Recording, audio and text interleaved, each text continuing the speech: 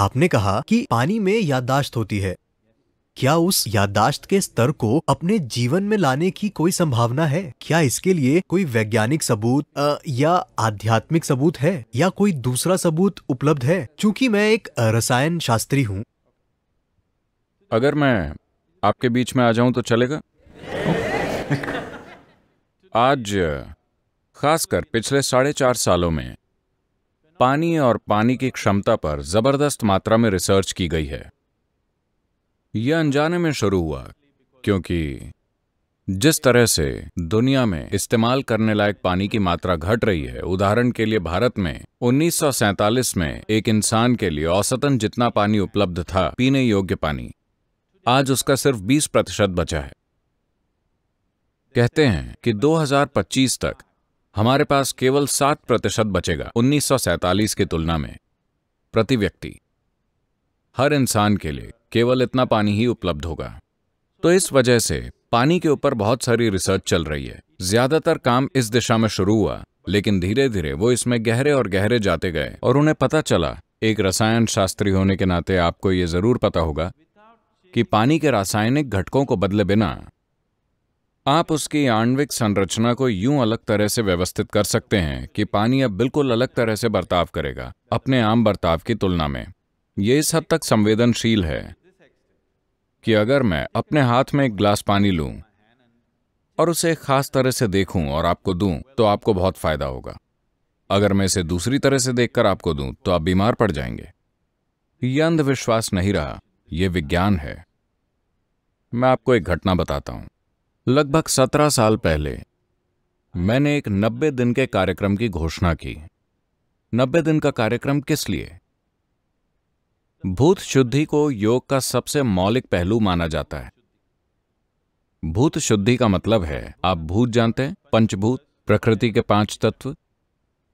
पृथ्वी, जल, अग्नि, वायु और आकाश। प्रकृति में ये पाँच तत्व हैं। ये पाँच तत्व ही वो मूल घटक हैं जिनसे ये शरीर बना है, ये ग्रह बना है, पूरा ब्रह्मांड बना है है ना?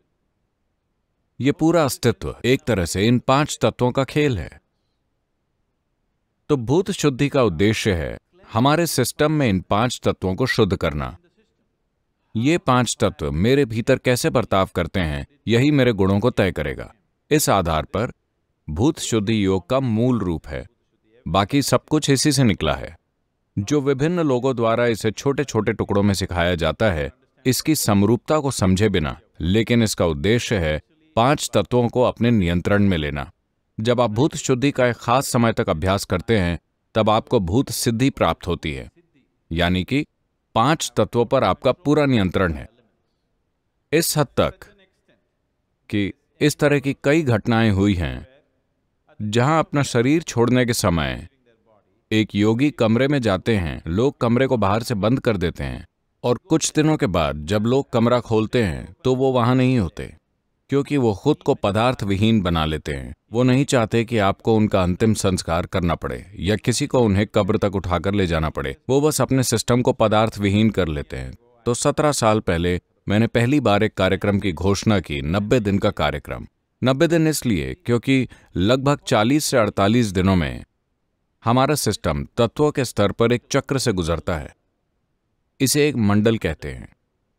हर 40 से 48 दिनों में यह सिस्टम एक तरह के चक्र से होकर गुजरता है। इसी कारण अगर आप किसी आयुर्वेदिक डॉक्टर या सिद्ध वैद्य के पास जाते हैं तो वो आपको हमेशा 40 या 48 दिनों के लिए दवा देंगे, उस चक्र का उपयोग करने के लिए, जो इस शरीर का स्वाभाविक चक्र है।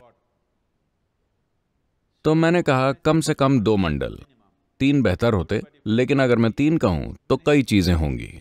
मैंने कहा, अगर आप कम से कम दो मंडलों की साधना करते हैं तो आप सिस्टम पर नियंत्रण पा सकते हैं जो लोग आना चाहते हैं वो आए। और मैं शहर छोड़कर चला गया, क्योंकि मुझे पता था कि काफ़ी ड्रामा होगा। अब एक परिवार में पति नब्बे दिनों के लिए जाना चाहता है तो पत्नी कथक करने लगेगी। पत्नी नब्बे दिनों के लिए जाना चाहती है तो पति घर में रजनीकांत की तरह पेश आएगा। गुस्से में भरा आदमी एक हीरो की तरह इधर उधर चलेगा। कई तरह का नाटक होगा तो मैं वहाँ नहीं होना चाहता। मैंने कहा, जो आना चाहते हैं वो आए, ये आपके ऊपर है।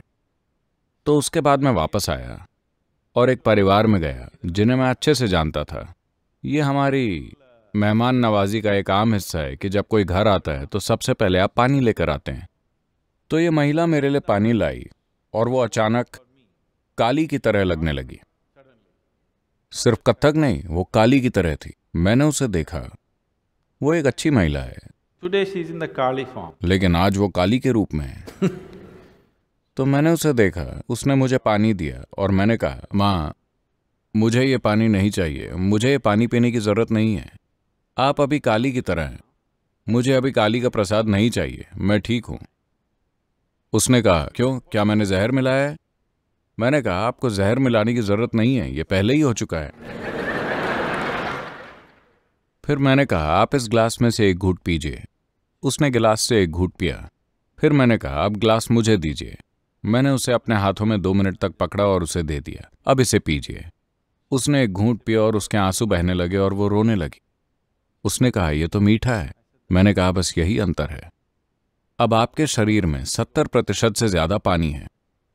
अगर इस सिस्टम में पानी मीठे तरीके से व्यवहार करता है तो क्या आप कम से कम सत्तर प्रतिशत मीठे होंगे?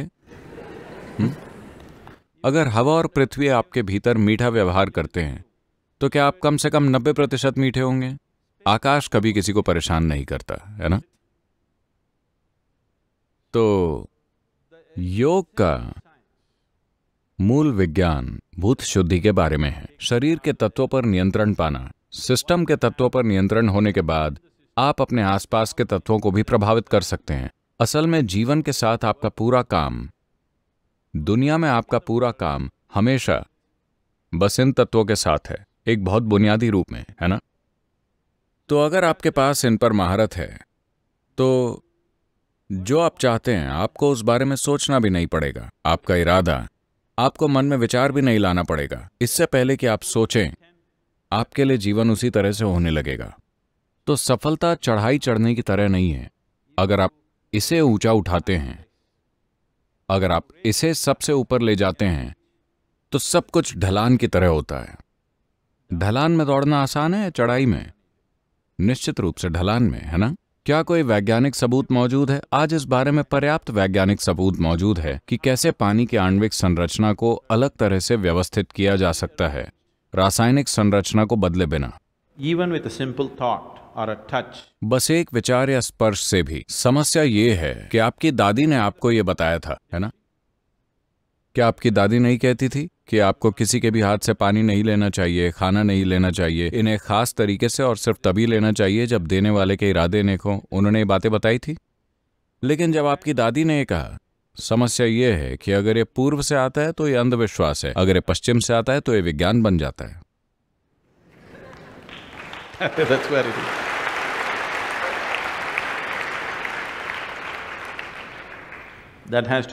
इसे बदलना होगा। आपकी पीढ़ी के लोग इसे बदलने की ज़िम्मेदारी आपकी है कि भले ही ये पूर्व से आया हो, अगर ये विज्ञान है तो ये विज्ञान है।